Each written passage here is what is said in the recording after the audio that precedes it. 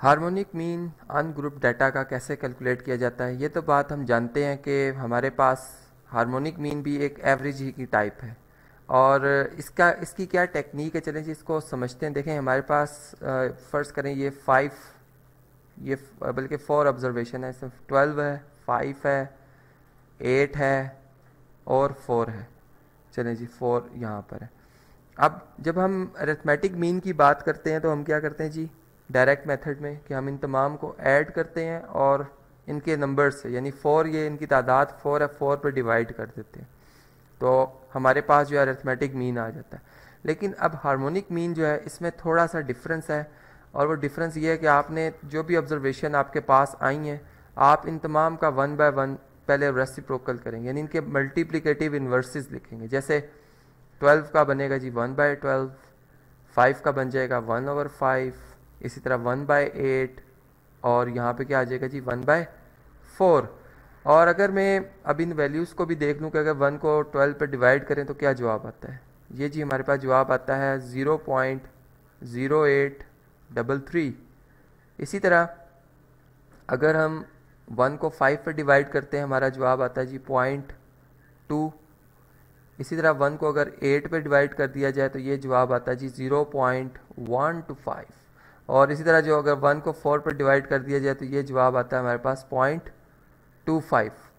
अब देखें जी, ये हमारे पास ये तमाम ऑब्जर्वेशन जब आ गई तो हमने इनका सम करना है यहाँ पर। हम यूँ लिखेंगे जी sigma one by x x variable है, तमाम का सम करते हैं जी। इसको भी ऐड करेंगे, इसे भी ऐड करेंगे। ये तमाम इनका सम बनता है जी zero point six five eight three जो कि मैं यहाँ पर लिख देता हूँ। ये कितना बना जी? Zero point six five eight three अब आप देखें कि हमने चूँकि मीन की बात की है, जैसे अरेथमेटिक मीन में हम क्या करते हैं? एवरेज लेते हैं और एवरेज के लिए टोटल तादाद से डिवाइड किया जाता है। लेकिन यहाँ पर हम इसको चलें डिवाइड करेंगे। यहाँ पर चलें, हम इसको डिवाइड कर लेते हैं जी। लेकिन ये हार्मोनिक मीन नहीं कहलाएगा इस वक्त। इस इस वक्त हम क्या करेंगे जी? सिग्मा जो वन बाई एक्स है, इसको डिवाइड करेंगे इसकी कुल तादाद से। ठीक, ये चलें, इसका आंसर देख लेते हैं, क्या आता है हमारे पास।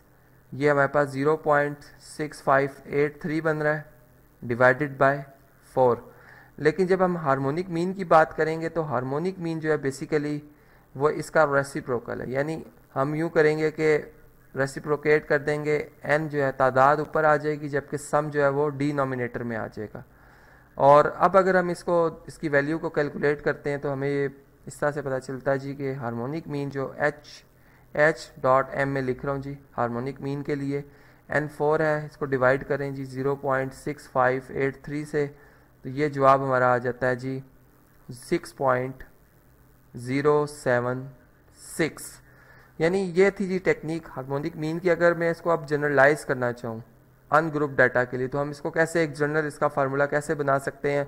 हम यूँ कहेंगे कि हमारे पास जो हार्मोनिक मीन है हार्मोनिक मीन है, ये इक्वल टू होगा जी एन एन है कुल तादाद इनकी divided by sigma one by x और एक्स क्या जी? एक्स हमारे पास ऑब्जर्वेशन है, एक सेट है, यहाँ पे मैं यूँ बनाऊँगा जी एक्स एक सेट है, जिसमें हमारे पास जो ऑब्जर्वेशन आ रही है, उसमें एक्स वन ऑब्जर्वेशन है एक्स टू ऑब्जर्वेशन है एक्स थ्री ऑब्जर्वेशन है और इसी तरह करते करते, जी लास्ट में हमारे पास एनथ ऑब्जर्वेशन है।